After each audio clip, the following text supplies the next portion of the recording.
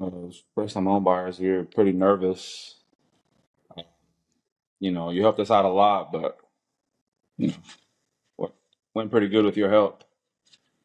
Yeah, we were pretty overwhelmed, but with your guidance, it was, I think you helped us with get over that nervousness and I think it went well.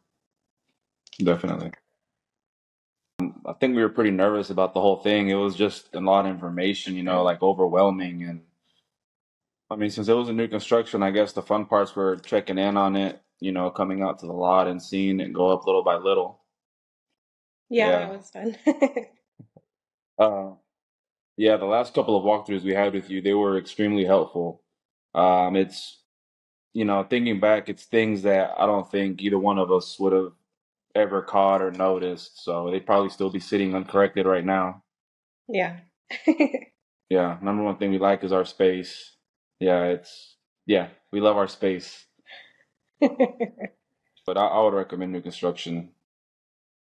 Just uh, less headaches as far as you know. You have warranties on things you you know you normally wouldn't with you know an older home.